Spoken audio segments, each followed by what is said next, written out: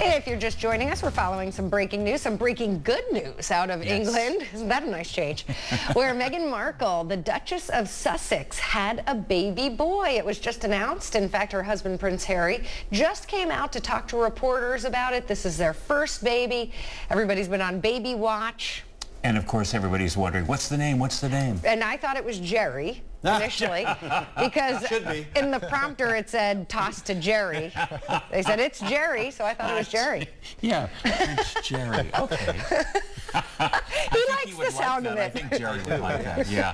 We also do want to take a look at the big board. Um, the Dow is down 305 points now.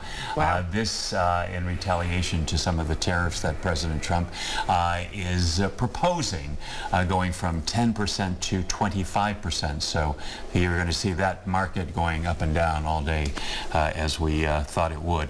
Uh, let's get a quick check of uh, our weather uh, before we take off. And, and a quick reminder, opening night for Big River is uh, going to be uh, happening this Friday. This Friday. All right, This get Friday. the tickets. It's going to be a good one.